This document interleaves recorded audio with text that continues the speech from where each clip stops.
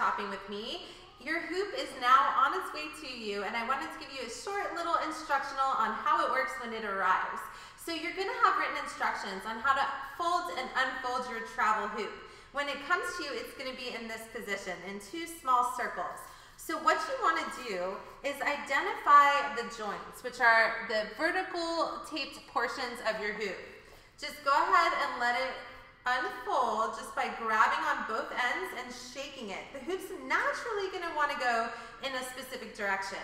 Grab on either side of the joints on, uh, on each side and just give it a twist. And that's going to bring the hoop into a full circle. Again, you're gonna know you're ready to hoop if you can lay it on the ground and it's nice and flat.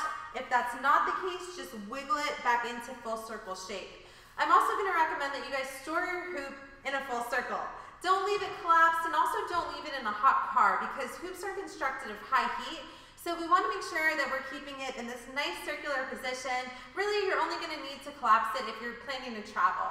And to do so, again, line up those vertically taped portions of the hoop. I like to balance the bottom on top of my foot. You're going to push down and twist, one arm away from you and the other arm towards you to create a figure eight shape. From here, you're gonna hold in the middle, bring the bottom of the hoop to the top of your leg, and just press it down into those two small circles again. So that is how to fold and unfold your travel hoop. Thank you again so much for shopping with me and happy hooping.